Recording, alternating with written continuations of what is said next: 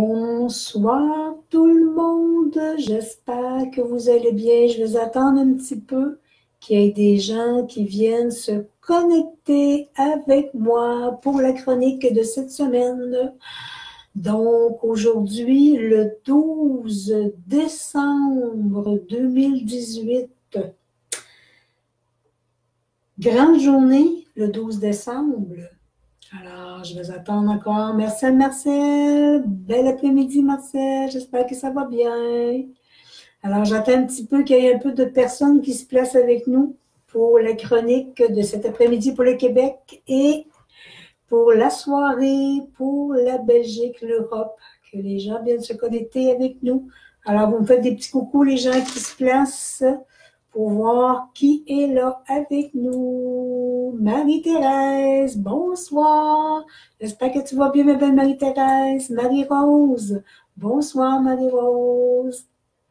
Alors, on va entendre un petit peu encore a des gens qui se placent avec nous, qui viennent se connecter.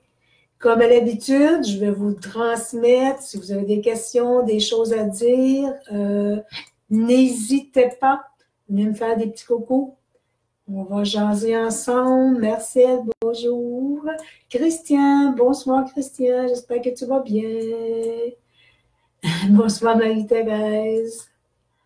Alors, je vois qu'il y a un petit peu de personnes arrivées. Donc, ben, merci de votre... Vous m'entendez bien? Tout est beau? J'espère que je n'ai pas... OK, c'est bon. Je pense que je vais peser sur un mauvais bouton. Alors, j'espère que la voix, elle est claire, que tout est euh, euh, clair, net et précis. Donc, cette semaine, ce que je veux parler avec vous cette semaine, est-ce que je m'aime assez pour me faire respecter dans ma vie? Ah, quelle grande question! Euh, je veux vos partages, je veux vos impressions, je veux vous entendre me dire si oui, vous vous respectez assez dans votre vie. Euh,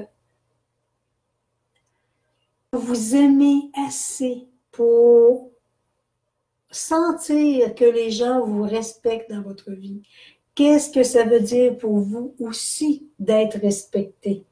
Quelles sont vos limites? Quelles sont, euh, quelles sont euh, jusqu'à où vous êtes prêt à aller pour être aimé dans votre vie. Mais vous, à la base, est-ce que vous vous aimez assez? Je vois déjà, j'ai un petit commentaire. Lucie, bonjour Lucie. Marie-Thérèse. Ah, OK. Des fois, ça va pas bien le son. OK. Mais là, ça va bien. OK. Bien contente que ça va bien. Julie, bonjour Julie. Si parfois il y a des petits, euh, des petits bugs, vous me le dites et on, va s'ajuster en conséquence. Donc, euh, qu'est-ce que ça peut bien vouloir dire? Est-ce que je m'aime assez pour me faire respecter dans ma vie? Si vous avez euh, des commentaires, si vous avez des choses à me dire, des choses à me transmettre, si vous sentez que vous n'êtes pas respecté dans votre vie, Venez m'expliquer pourquoi. Venez m'expliquer qu'est-ce qui se passe dans ta vie, dans votre vie, pour ne pas ressentir ce respect-là dans votre vie, dans tous les aspects de votre vie. Alors, je vais commencer tout doucement. Et j'ai un autre petit commentaire ici. Je vais aller voir Lucie. Bonjour, Lucie Dubois. Alors, je vais commencer tout doucement. Euh, m'aimer assez pour me sentir respectée dans ma vie, moi, Sylvie. Euh, par expérience de vie dans ma vie, j'ai déjà été euh, vraiment dans, dans, dans, la soif d'être aimée, dans la soif d'être reconnue, dans la soif de bien paraître, en public, de bien paraître dans mon verbe, dans ce que je transmettais, de bien paraître dans, dans, mes actions, dans ce que je faisais. Oui, à la base, c'est la situation de mes parents qui m'ont appris que c'était comme ça dans la vie. Et je me souviens grandement, et ça va sûrement vous toucher entendre ma mère me dire qu'à la petite école, euh, assez, il fallait tellement je sois aimée par tous les enfants, il fallait que je sois fine, que je sois gentille, que si je voyais même un élève tricher quand j'étais à la petite école, je devais immédiatement aller le dire au professeur. je ne sais pas si vous avez vécu ça quand vous étiez petite, mais dans mon cas, ça n'a pas vraiment réussi. J'ai écouté ma mère, j'ai fait ce que j'avais à faire, mais euh, quand j'ai créé cette, euh, je veux dire, cette bombe-là, où est-ce que je te l'ai euh, dit à mon professeur que les élèves à côté de moi, ils trichaient, ben, qu'est-ce que ça a créé? Ça a créé que ces élèves-là ben, n'étaient pas très contentes de moi et c'était les, les, durs à cuire de l'école, les toughs, et j'ai mangé des petites tapes des grosses mains, dans la neige et tout ça. Donc, j'ai vite appris par moi-même que euh, être aimé ne voulait pas dire que ce que ma mère, elle, m'avait enseigné, ses propres manques d'amour, était nécessairement ce que moi, je devais faire dans ma vie. Alors, je n'étais pas dans l'obligation de... Parce que pour elle, il fallait être aimé par les grands. Et c'était ses blessures à elle qu'elle vivait, qu'elle n'avait pas été aimée par les grands en étant enfant. Et que moi, j'ai acheté ça en disant que si je veux faire du commérage quand j'étais petite, alors ben là, le professeur, il va m'aimer plus. Il va porter attention à moi. Il va euh, me regarder d'un autre angle. Mais je me suis vite rendu compte que je me mettais à dos des gens. Alors, peur de ne pas être aimé. Oui, j'ai eu peur de ne pas être aimé à l'école parce que j'ai tellement vu, j'ai tellement vécu et ressenti cette problématique-là à la maison, chez moi, que le manque d'amour était flagrant, était très, très, très. Donc, j'allais provoquer des situations qui, je voulais à tout prix qu'on me voit, qu'on sache qui suis. Et ben, je m'attirais d'autres problèmes. Alors, écrivez-moi si vous avez, vous, euh, fait des choses jeunes, des comportements, ou même encore aujourd'hui, je dis jeune, là, mais euh, aujourd'hui, on, sûrement, vous avez encore peut-être des comportements qui sont là, qui sont créés, qui viennent tout simplement euh, apporter des fois que vous sentiez, vous retournez chez vous ou que vous, vous faites des choses que vous sentez que euh, euh, euh, vous n'étiez pas en accord avec vos valeurs à vous. Marianne, bonsoir Marianne. Il y a quelqu'un d'autre qui s'ajoute. Donc, pour moi, peur de ne pas être aimé, ça veut dire que je peux aussi manquer confiance en moi. Si je manque confiance en moi, ben, je vais donner, euh, j'ai envie de dire, à du 200 pour vraiment que les gens euh, me respectent, pour que j'aie toujours le sourire qui est présent dans tout temps dans ma vie, pour vraiment euh, que les gens viennent vers moi, que je sois gentille. Et j'ai même vu dans mon verbe d'éteindre, de dire si la personne disait blanc, ben je disais blanc comme elle. Parce que plus jeune, je me souviens très bien que mes valeurs à moi, je les connaissais même pas. Parce que j'avais été élevée dans cette façon-là chez moi, à agir, à penser, à faire, toujours en conséquence que c'était un petit peu chez nous, sois belle et tais-toi, il faut que les gens t'aiment. Alors, c'était toujours dans cette conséquence-là. Alors, les gens disaient quelque chose et j'avais même pas euh, le respect de moi-même, de voir quelles étaient mes valeurs à moi. Très jeune, j'étais comme ça. Adolescente, j'avais du caractère. Moi, j'avais du caractère beaucoup. Mais mes valeurs, je ne les connaissais pas non plus. J'agissais toujours pour plaire aux gens. Et mon Dieu, que trop souvent, trop souvent, il y a des gens qui ont abusé de ma bonté, de ma générosité, parce que je donnais, je donnais sans condition. oui, c'était inconditionnel, mais en tant qu'adolescente, je donnais trop parce que ces personnes-là y abusaient de ma générosité. Alors, je vous repose la question, vous, est-ce que vous vous aimez assez pour vous faire respecter dans votre vie? Alors, emmenez-moi vos commentaires que je vois euh, ce que vous en pensez, ce que vous vivez surtout. Donc, euh, oui, il y avait cette grande peur-là de ne pas être aimé. Mais surtout, euh, j'ai envie de vous dire, quand comme je vous dis tantôt, au niveau de professeur de l'école, ben, c'était que le manque d'amour était tellement flagrant et grand à la maison que je voulais aussi être aimé des adultes comme ma mère. Elle avait vécu ce manque-là.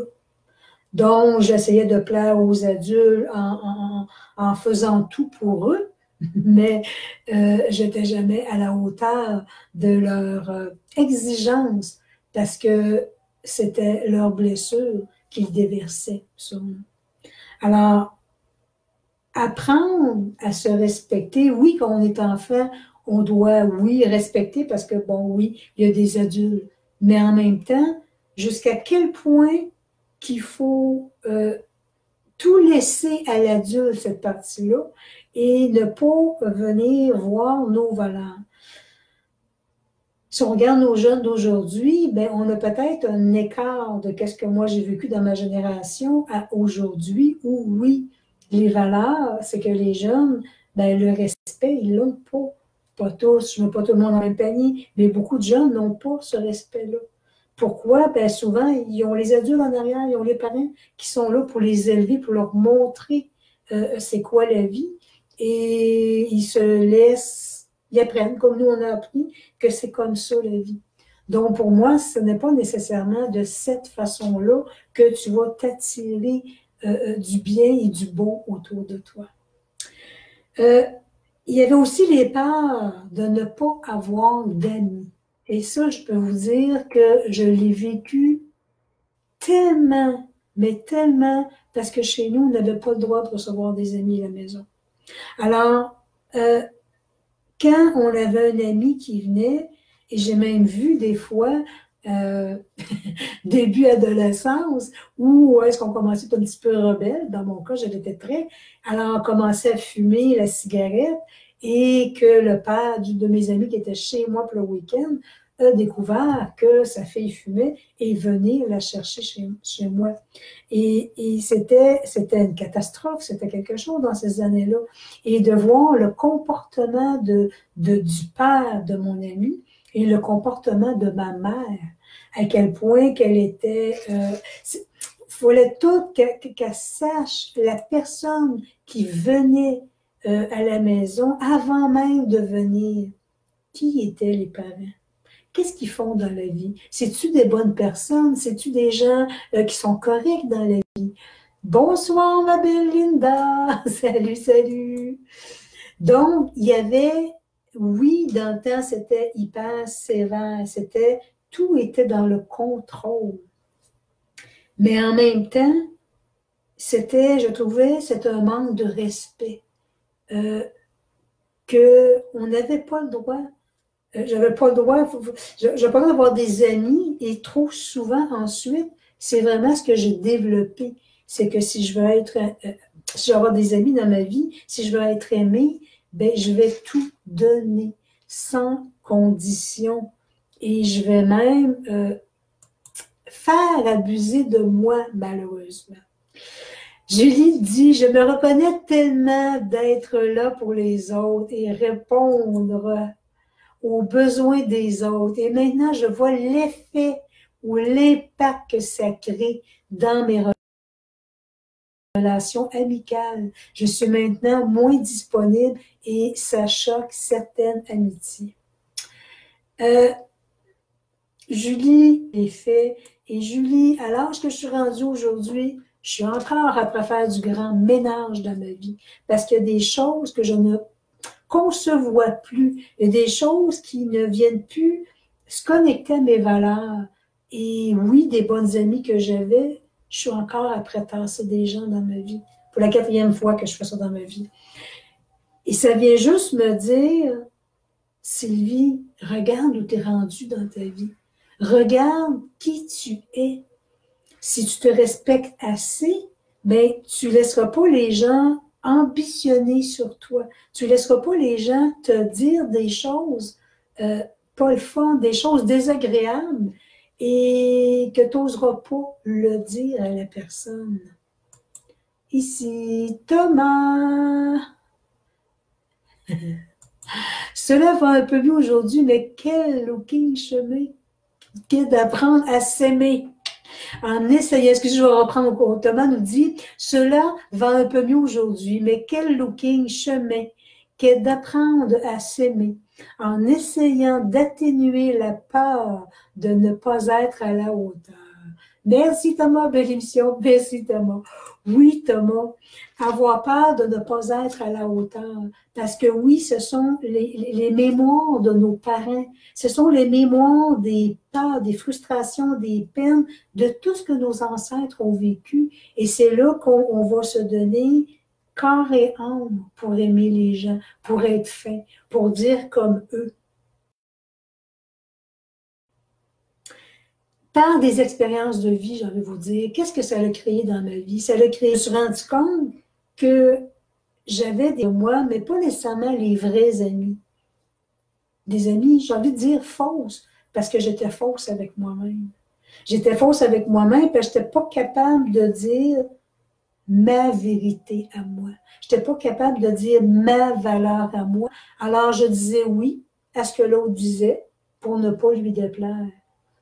Et oui, la vie me fait faire encore des grands ménages présentement. Et je le vois, je le regarde aller, puis je dis, regarde, c'est la quatrième fois que je le fais dans ma vie et je suis prête à dire, j'ai même pas peur. J'ai même pas peur de me retrouver là, ici, sans amis proches, proches de moi, parce que je sais que la vie va me remettre sur mon chemin des gens qui vont correspondre à mes besoins, qui vont savoir m'écouter quand je crois dire, qui vont, savoir me taper d'un petit tape sur l'épaule, hey, wow, euh, c'est bon ce que tu fais, c'est, et moi aussi la même chose mais il n'y aura pas l'ego qui va se placer. Et, l'ego, lui, qu'est-ce qu'il vient faire? Ben, l'ego, lui, vient juste dire, ben, malheureusement, il vit trop aujourd'hui. Ben, euh, ce que tu fais, euh, je pense que je suis meilleure que toi. Je pense que je, mais, ce que je fais, moi, c'est mieux que toi. Ça ne devrait même pas exister. Mais oui, je l'ai vécu. Oui, je l'ai entendu, malheureusement. Et quand j'ai entendu ça, été obligée de couper de relations dans ma vie parce qu'on venait me diminuer dans mes capacités. Pour moi, il n'y a pas personne qui est là, puis l'autre, il est là. On est tous uniques, mais on est tous égaux. Puis j'ai envie de vous dire que même quand je fais mes ateliers, souvent avec mes élèves, on va toucher des sujets, des fois, quand je parle des animaux, je vais sauver la planète complète, je me mets à pleurer devant mes élèves. Puis les Kleenex, OK, on se passe les Kleenex, on veut beaucoup, mais ils, savent que mon émotion, elle est avec eux, que je leur partage quelque chose qui me touche. Ils sont capables de m'écouter, mais je suis capable aussi de mettre, je, leur dis, je suis à la même place que vous autres. Oui, j'ai des enseignements à vous apporter. J'ai un coffre à outils que les guides m'ont donné en cours de route. J'ai un coffre d'outils que moi-même, je me suis servi en cours de route. Alors, ce coffre d'outils-là, si je le garde à moi tout seul, je vais avancer tout seul, je n'aiderai pas personne. Mais le but, euh, c'est que moi, Sylvie, si je suis mieux dans ma vie, puis si je m'aime plus, ben, j'aimerais ça que tout le monde autour de moi vive la même chose. Qui est ce coffre à outils-là pour s'aimer plus, pour grandir dans la vie? Et j'ajouterais qu'en niveau que d'être humain, euh, c'est ce qu'on est venu faire ici dans les plans de la Terre. Mais malheureusement, la société, la population euh, est tellement trop individualiste que les gens oublient de se tenir par la main.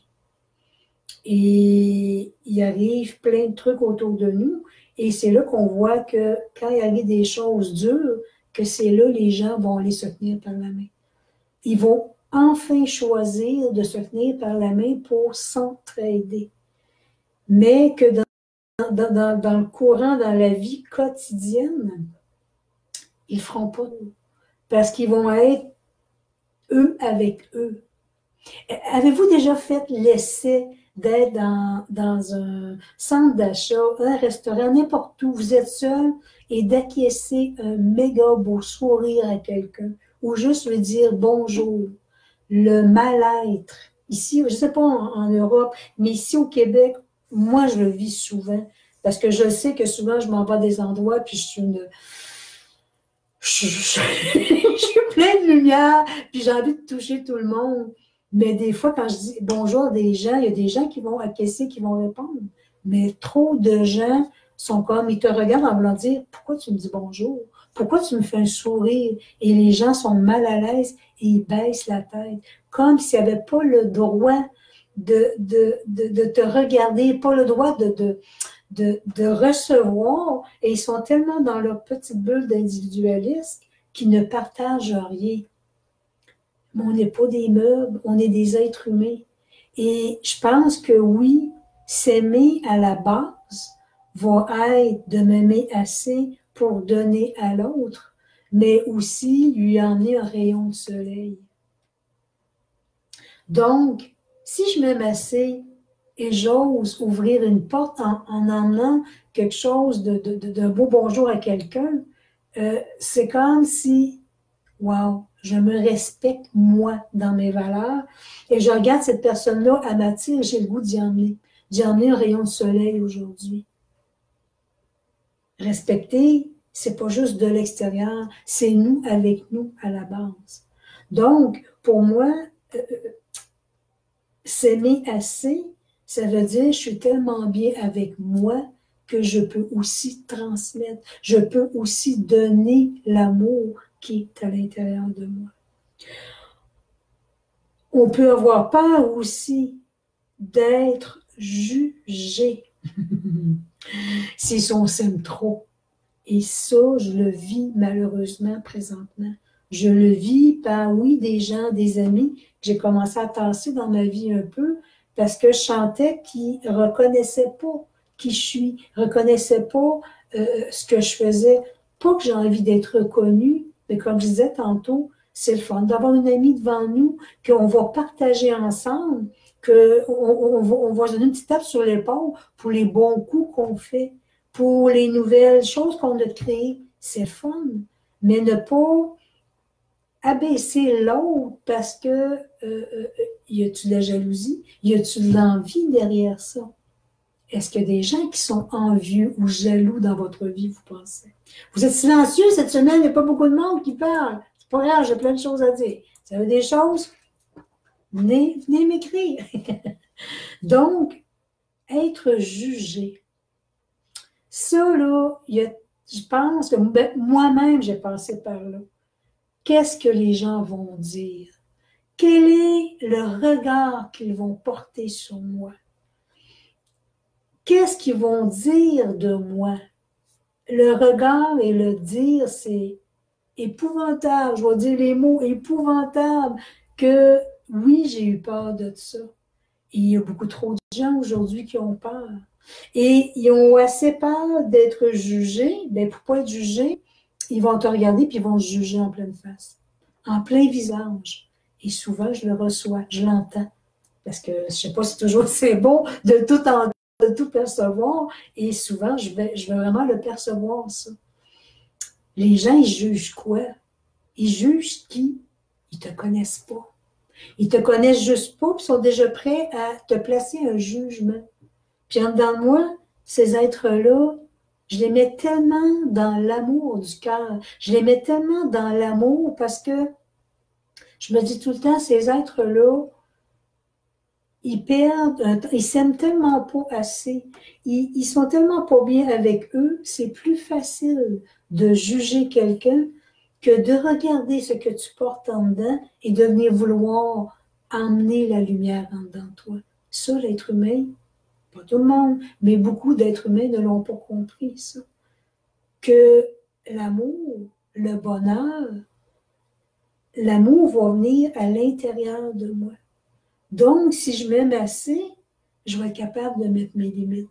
Je vais être capable de regarder mes valeurs, ce que je vis, ce que je ressens, ce que je veux, ce que je ne veux plus dans ma vie. Et ne plus subir des gens autour de nous, des comportements de gens dans notre vie, juste dire, ben, OK, ça convient plus à mes valeurs, ça convient plus à qui je suis, puis ces personnes-là, ben, avec amour, moi-même, je vais juste me tasser un petit peu. Et ces personnes-là, je vais juste les mettre dans la lumière pour qu'ils puissent venir comprendre quelque chose, qu'il y ait quelqu'un qui vienne euh, les allumer, quelqu'un vienne les éclairer en quelque part. Puis je me dis tout le temps, où que je passe, si j'ai mis une petite étincelle dans le cœur de quelqu'un, dans la tête de quelqu'un, wow, il y a quelqu'un d'autre qui va poursuivre à côté. Peut-être que qui je suis, je ne corresponds pas à tout le monde, mais en même temps, euh, c'est correct. Je ne suis pas ici pour plaire à tout le monde. Je suis ici pour m'aimer moi et ceux qui ont une affinité avec moi vont venir. Des fois, je dis dans mes ateliers aux gens, vous savez qu'avec les salons que je fais euh, ici au Québec et même en Europe, bon, oui, je vais faire des conférences sur place. Et souvent, ben, quand je me mets à parler, euh, dans, le verbe, dans ce que j'ai à dire, il y a des gens qui se lèvent et qui sortent. Il y a 15 ans, quand j'ai commencé, oh, j'étais un petit peu dans, les parts et tout ça, dans les jugements, et c'était comme, OK, je ne suis pas à la hauteur, je ne suis pas bonne, je, pas, je mettais tout. Et aujourd'hui, c'est correct. C'est juste que je me dis, aujourd'hui, ce que je dis ne vient pas les connecter à eux. Ça ne les connecte pas ce que je dis et c'est correct.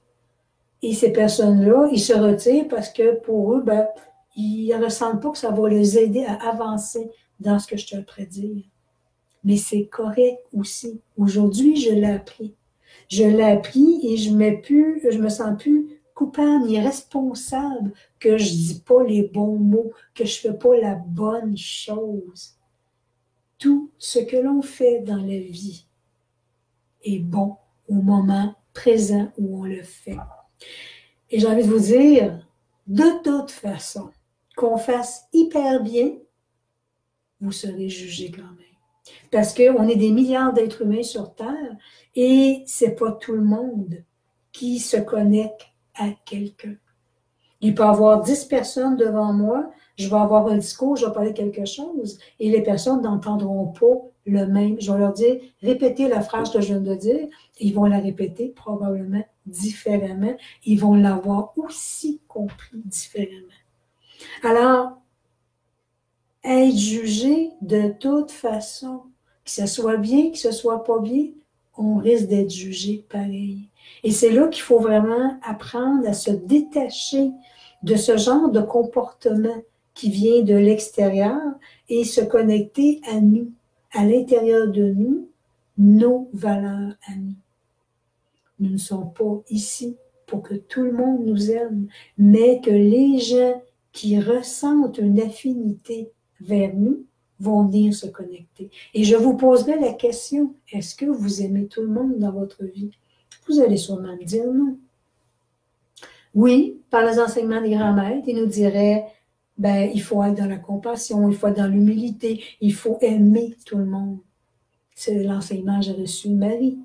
Mais en même temps, euh, j'ai appris une chose, que si des gens, je n'ai pas d'affinité avec eux, oui, je vais me dissocier de ces êtres-là, mais je ne les jugerai pas dans ce qu'ils sont. Ils ont une valeur, ils sont ce qu'ils sont. Moi, je me retire avec qui je suis. Et c'est correct. C'est correct que moi, Sylvie, ben, je ne sens pas d'affinité avec cette personne-là et que je n'ai pas à rester à côté de cette personne-là.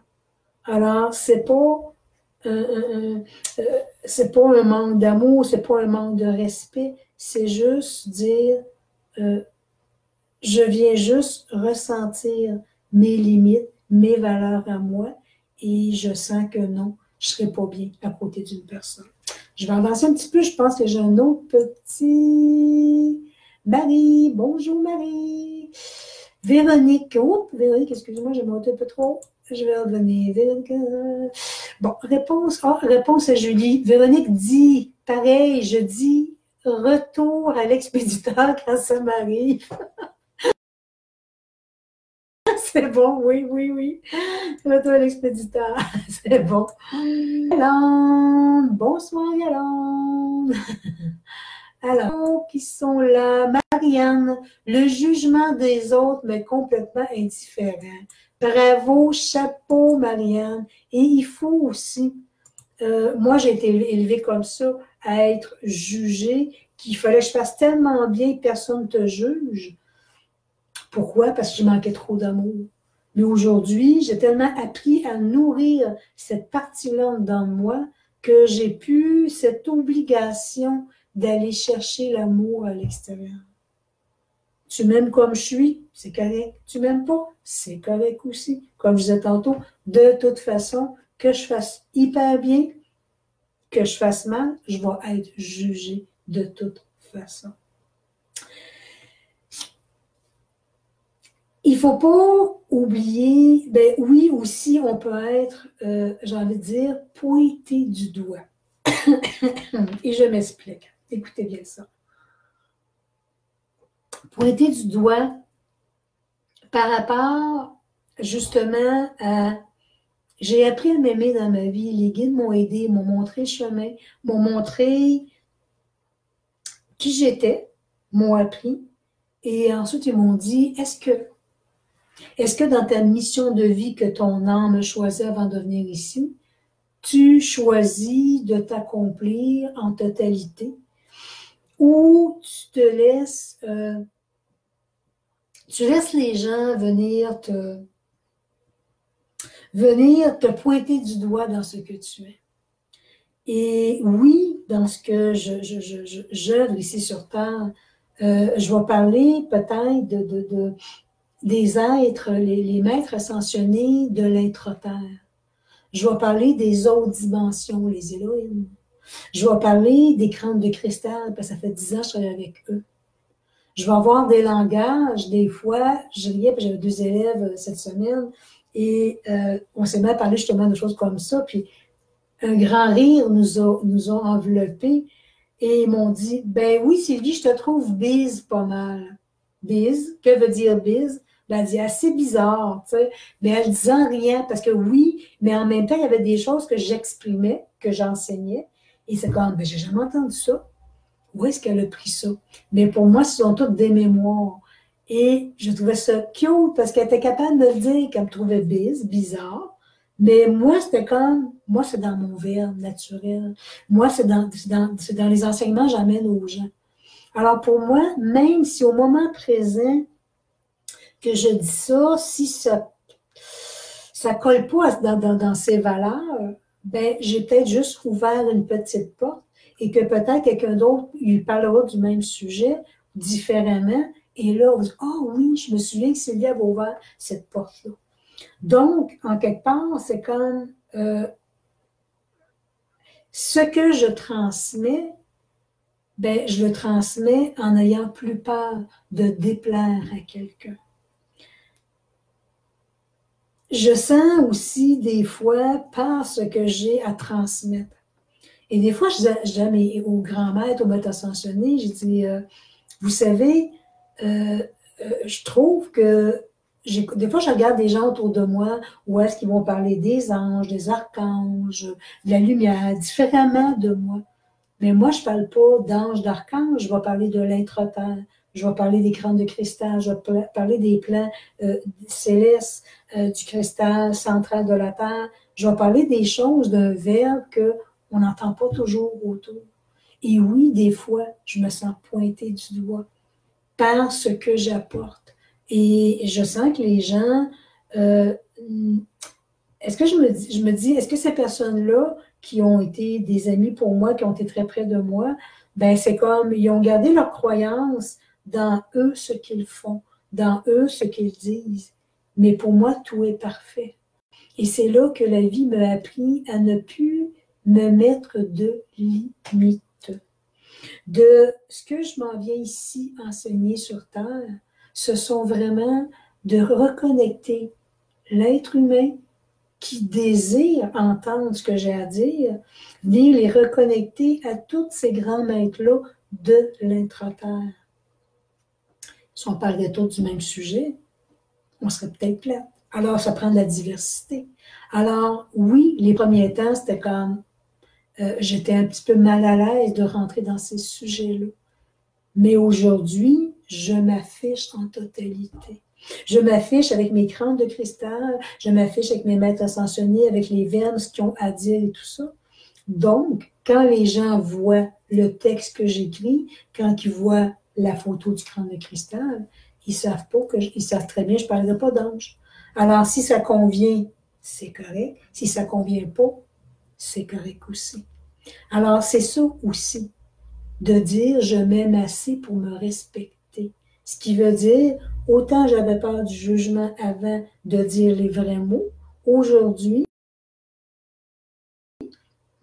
je, je choisis de dire les vrais mots, ce que j'ai à dire, ce que je ressens, ce que je vis en dedans de moi, parce qu'il est ici sur Terre. Est-ce que vous, vous êtes venu faire quelque chose de particulier sur Terre? Selon vous, qu'est-ce que vous êtes venu faire sur Terre? Écrivez-moi. Écrivez-moi, j'aimerais ça vous entendre un petit peu. Donc, oui, on peut être pointé du doigt par des gens. Mais, comme disait tantôt, euh, euh, moi, j'ai appris, même si on me juge, euh, de dépasser ça, de ne pas rester dans cette blessure-là. Il ne faut pas non plus, pour moi, dire je m'aime assez que je, me, euh, que je me respecte. Ne pas oublier que vous avez sûrement passé par là. Dire que on subit les mots des gens. On subit leur façon de nous regarder on peut subir leur façon de nous parler. Il vous est sûrement arrivé d'être devant quelqu'un et de vous faire dire quelque chose et d'être tout simplement figé devant la personne et ne pas être à l'écoute de vous pour dire stop.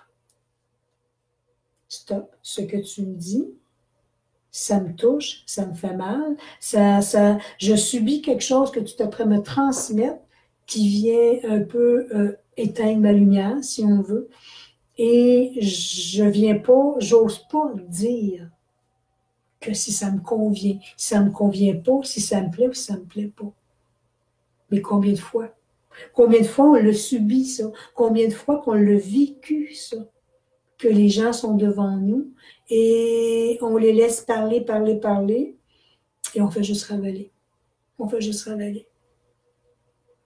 Il m'est arrivé une expérience comme ça à un moment donné avec un monsieur, euh, dans une méditation que je donnais à l'extérieur, et le monsieur n'aimait pas vraiment ce que je faisais.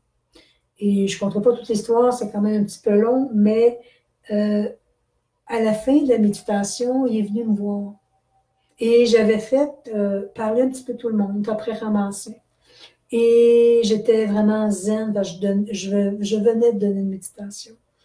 Et cette personne-là a commencé à me juger en me disant euh, que ce que j'avais fait à la base était uluberlu, qui veut dire, pour lui, pour nous ici au Québec, ça n'a pas de sens que tu viens de faire. C'est un peu... Alors je l'ai regardé en lui disant, Monsieur, je ne vous ai pas été vous chercher, pour venir jusque dans cette salle ici pour m'entendre. La porte, elle était là, vous pouviez partir. Et il a continué en, vraiment en ajoutant. Vous savez, euh, moi j'arrive d'un tel endroit où est-ce que dans les ateliers que j'ai suivis, j'étais pas dans l'obligation, il n'y avait pas de prix demandé. Je donnais ce que je voulais. Et il me transmettait, je trouve que vous, euh, tous ceux qui travaillent dans l'énergie, vous êtes obligé de charger un prix pour faire ce que vous faites. Je trouve que ça n'a pas de sens. Mais là, il se met à montrer mes instruments, mes bois tibétains, mes ce cristal qui sont là. Bon, dit, je peux comprendre qu'il faut vous payer ça. Et pour moi, je me suis dit, il a poussé sa loque. Mais il est venu vraiment euh, me tester en me regardant et en me disant, ben, je vois bien aussi en faisant ça comme ça, que, en voulant dire vos rondeurs, euh, ben, vous viviez très bien. J'aurais pu. J'aurais pu tout simplement euh, me laisser emporter par ce qu'il venait de dire, mais ce que je voyais devant moi, c'était un être qui était rempli de blessures profondes, de maux, de mal-être à l'intérieur de lui. Et c'est là que je lui ai dit, vous savez, monsieur, je suis pas ici pour tout le monde même, moi. Je suis ici pour plaire aux gens qui reconnaissent à travers mon verbe ce que j'ai à dire, qui se reconnaissent à travers moi. Et comme je lui ai dit une deuxième fois, vous saviez, vous aviez le choix de quitter. Vous n'étiez pas obligé de rester si vous n'aimiez pas ce que je faisais. Mais je voyais tellement un homme blessé devant moi qui me jugeait droit devant moi. Je, vous avouer, d'une façon ou d'une autre, j'aime mieux quelqu'un qui est placé devant moi, qui me juge en plein visage et que j'entends ce qu'il pense de moi, que entendre en arrière. Parce que moi, pour moi, entendre en arrière, ben, c'est des coups de couteau que les gens te donnent dans le dos. Et pour moi, c'est un grand manque de respect. Alors, j'aime mieux moi-même me placer devant quelqu'un, puis lui dire, ben ça, ça me dérange. Ça, j'ai vécu ça. Ça, ça m'a emmené à tel endroit et j'aime pas ça. Donc, le monsieur, j'ai parlé avec lui, j'ai resté dans mon cœur, j'ai resté dans ma vérité, j'ai resté dans mon respect à moi. Parce qu'il aurait pu me, carrément euh, m'anéantir et qu'il y a plein de monde qui sont là, puis j'aurais pu grimper au plafond en disant que ben là, vous avez poussé votre note. Mais non, j'ai resté zen, très zen en dedans de moi. Parce que je me disais, ben OK, euh, ce que je vois devant moi, c'est quelqu'un de souffrant. C'est quelqu'un de très blessé et que c'est la façon que lui a choisi, c'est la façon que lui a pris pour pouvoir euh, venir transmettre ce qu'il vivait en voulant m'abaisser. Euh, je n'ai pas donné raison, carrément pas. J'ai juste mis dans la lumière, dans l'amour. Et lorsque tout le monde a été parti, je me suis placée avec mes guides quand même. Et euh, quelle est la leçon que j'avais à apprendre? Et ils m'ont transmis la reconnaissance. Et là, j'ai fait, OK, chapeau Sylvie, merci, merci à moi. Parce que, un, je me suis respectée en n'entrant pas dans une colère parce qu'il me disait des choses pas gentilles. Je me suis respectée parce que j'ai resté centrée sur mon cœur dans l'amour que moi, je porte pour moi. Et quand j'ai vu ça, j'avais vu aussi que dans les 20 personnes qu'il y avait, c'était la seule personne qui avait dit quelque chose de négatif. Mais quand même, il était capable de me dire devant moi. Et c'est là que j'ai vu que, wow, j'étais sereine avec ça. Mais j'étais aussi capable de lui dire que c'était correct. C'était correct qu'il m'aime pas. Il a poussé, mais c'était correct qu'il m'aime pas. Alors, j'ai appris à travers cette leçon de vie que, oui, dans ma vie, j'ai appris à m'aimer assez pour être capable de dire à cet être-là ce que moi j'en pensais. Je lui ai pas dit que je voyais ses blessures. Je voulais pas, je voulais pas faire comme lui. Ce que lui m'envoyait, je voulais pas faire la même chose. C'était pas le but. C'était le but de le faire comprendre que je suis un être comme lui, comme des milliards d'êtres humains sur Terre, on est ici pour transmettre. On est ici pour partager nos valeurs. On est ici pour s'entraider et non pour écraser les gens autour de nous. Et vous vous vivez sûrement dans votre quotidien. Ça doit arriver dans votre quotidien que des gens qui vont créer vraiment cet espace-là, ou est-ce qu'ils vont vous emmener dans des états, ou est-ce que ça peut vous mettre à l'envers, vous remettre en question, et que ça peut tout simplement euh, euh, vous ramener dans vos blessures? Mais moi, j'ai décidé que les blessures, je les ai assez touchées dans ma vie, je les ai assez pleurées, je les ai assez regardées que maintenant je dis au guide, je suis loin d'être parfaite. Mais quand il m'arrive quelque chose, je me place avec moi-même, avec un beau miroir. Puis je viens voir, OK, ce que la personne vient de te dire ou te faire vivre, c'est une émotion profonde que tu as dans toi. OK, qu'est-ce qui se passe? Ne plus garder ça pendant des heures, des jours et me torturer avec ça. Je me place tout de suite avec l'émotion présente et je vais voir. Je demande au guide, dis-moi, aide-moi. Michel-Ange m'aide énormément. Montre-moi d'où vient cette blessure et il m'emmène. Il m'emmène dans mon enfance et ils vont me parler de mes parents, ils vont me dire ta grand-mère. Ils, vont me placer des gens dans ma vie pour me montrer ce que j'ai déjà vécu en tant qu'homme. Et aujourd'hui, ce qu'on me fait revivre et voir ce que j'en suis rendu dans ma vie. Est-ce que je réagis encore comme j'agissais quand j'étais jeune, j'étais avec, ou je rencontre que non? Il reste des petites miettes. Je me place avec les guides. OK, je comprends, je conscientise. Je vois la blessure vécue, mais je vois la blessure qui n'est plus non plus. Et c'est là que je me dis, OK, reprenez, parce que pour moi, c'est de l'ancienne mémoire et je n'ai plus à vivre ça. Je désire dans ma vie, dans mon quotidien, attirer à moi les gens qui sont de plus en plus dans la lumière. Parce que c'est ça que j'ai envie de faire vivre aux gens. La lumière. C'est ça que j'ai envie de leur faire reconnaître de plus en plus.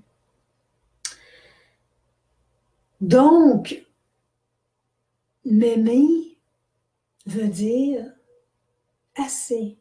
M'aimer assez veut dire que je reconnais mes limites. Je connais mes valeurs et je sais jusqu'à où que je suis capable d'entendre des choses, de recevoir des choses, mais où ce que mon Dieu, c'est comme, OK, ça, j'aime moins ça. Ça, être capable de le dire aux gens. Ou si des fois on n'est pas capable de le dire, de, de me respecter assez, de me tasser de ces êtres-là et de les mettre dans l'amour. Parce que si je mets la personne dans l'amour, je m'en envoie moi. Alors, je guéris l'autre et je me guéris aussi. Je voulais ouvrir une petite porte avant de quitter. Aujourd'hui, on est le 12 dans ma région. Et c'est une soirée, une journée pour moi. Le 12, ce sont souvent des ouvertures de portail euh, au niveau euh, de la Terre, de la planète. Ce matin, j'ai mis une canalisation euh, que j'ai mis sur ma page Facebook qui venait de tous les grands maîtres ascensionnés, la grande fraternité blanche. Et ces êtres-là, ils veulent juste nous faire comprendre qu'on n'est pas tout seul sur la terre. Ils veulent juste nous faire comprendre qu'on est divinement accompagné par nous. Euh, je vais aller un peu euh, sans, j'ai pas le texte devant moi, j'aurais dû, le garder, mais c'est pas grave. C'est que ça disait que on est tous, notre âme a choisi, dans l'incarnation que j'ai faite ce matin, notre âme a choisi cette incarnation ici sur Terre. Les guides nous transmettaient, je vois parfois, nous voyons parfois que c'est difficile pour vous sur Terre. Mais Sachez que nous vous accompagnons toujours. Sachez que on vous aime assez pour ne pas vous abandonner. Continuez. Continuez à être dans le cœur et surtout augmenter cette fréquence vibratoire. Parce que oui, on voit un peu partout que ça bouge, ça brasse, que la terre est vide et on voit que les gens euh, vivent des choses difficiles aussi. Ces êtres-là n'ont pas besoin d'être jugés, n'ont pas besoin qu'on parle contre eux, ils ont besoin de lumière. Qu'être, que âme conscient, âme éveillée, il se faut juste de retourner dans notre cœur et envoyer cette lumière-là pour apporter l'apaisement et non que par le jugement qu'on va apporter, des mots négatifs qu'on va juste faire augmenter la pression et le volcan qui bout présentement. Euh, c'est important.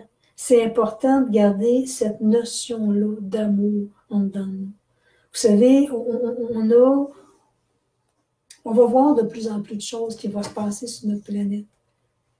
Il faut pas être dans la peur, il faut pas être dans le jugement, il faut pas augmenter cette vibration-là. Il faut juste aimer les gens parce qu'ils ont besoin d'amour. Ils ont besoin d'une touche de douceur dans leur cœur parce qu'ils vivent des grandes tensions. Ils sont plus pour moi dans l'ego que dans le cœur. Et, ils viennent vraiment se protéger pour ne pas se sentir attaqués à l'extérieur. Et ils vont tout simplement euh, transmettre, agir, dire des mots qui sont pas euh, qui sont pas à l'écoute de la société, qui sont pas à l'écoute de ce que les gens vivent sur Terre. On a tous besoin de cet amour-là. Donc, tous ces maîtres-là, ce matin que je canalisais, c'est ce qui me transmettait.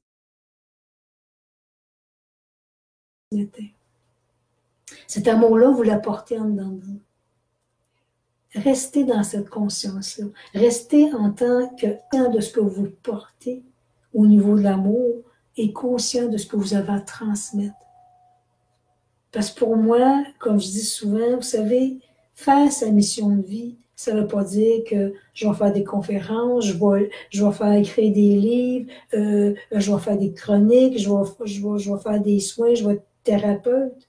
On est tous dans notre mission de vie. On la fait tous de fréquences différentes. Tant qu'on est dans le cœur, on fait notre mission de vie. Et pour moi, c'est le but.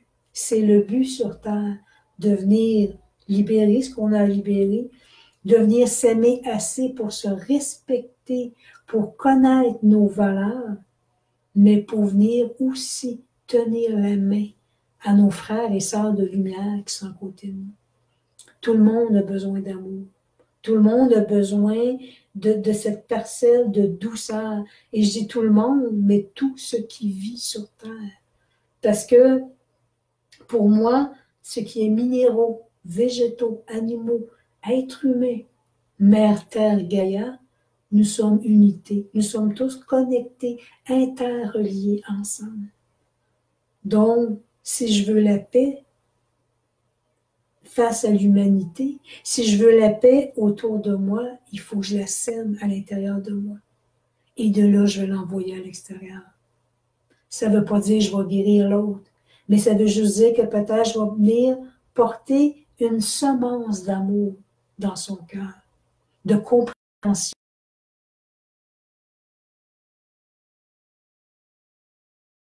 pour qu'il puisse juste être meilleur avec lui-même. S'il est meilleur avec lui-même, il va l'émaner, il va être meilleur. Je finalise avec ma belle petite carte de pensée. Qu'est-ce que les guides ont à nous dire? Donc, oui, aimez-vous assez pour vous respecter, pour ne pas euh, entendre des choses difficiles dans votre vie, ne pas les subir dans le verbe, dans la partie physique, mais être capable de vous placer avec vous-même et la personne ou l'événement qui se passe et de dire non, non, je choisis de m'aimer assez pour te montrer que ce que tu viens de dire, ce que tu viens de faire, tu as dépassé des limites permises et c'est un manque de respect.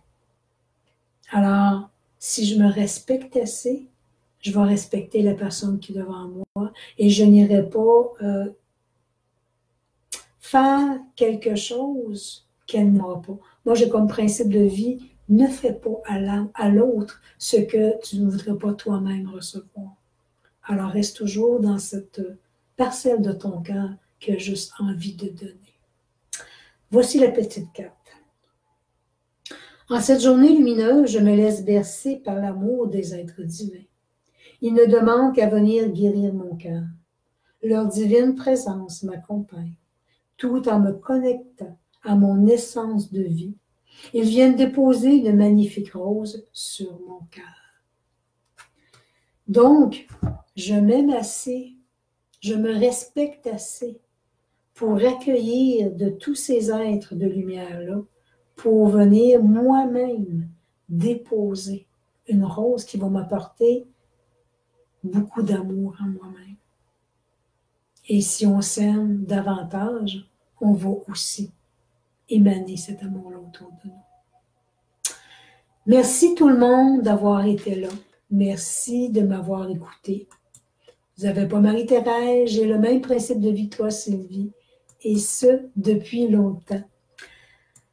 Continuez à vous aimer. Vous avez été silencieux cette semaine, vous avez le goût d'écouter, j'imagine, mais c'est correct, j'avais toujours plein de choses à dire. Alors, je vous souhaite une semaine, euh, une délicieuse semaine. La semaine prochaine, la chronique euh, sera, on va être le 19 la semaine prochaine, sera la dernière chronique jusqu'au retour des fêtes, parce que je prends un petit deux semaines de pause. Donc, euh, toujours là, je ne sais pas encore le sujet. Euh, je vais l'annoncer quelques jours avant. Alors, ce sera la dernière que je vais faire de l'année pour finaliser afin d'entrer dans la belle partie des fêtes qui s'en viennent pour nous.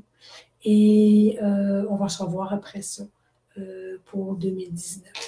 Alors, je vois j'ai un autre petit commentaire. Euh, Yolande. Merci Sylvie, bonne soirée. Toujours un plaisir d'écouter. Merci ma belle Yolande. Alors à vous tous, ben, Julie, bye bye Julie. je vous dis une douce et agréable semaine. Aimez-vous assez pour vous respecter et reconnaître votre valeur, mais surtout cet amour-là, laissez-le émaner autour de vous. Donc, tout le monde, bonne semaine. Et je termine comme toujours en vous disant, je nous aime. Bye bye. À la semaine prochaine.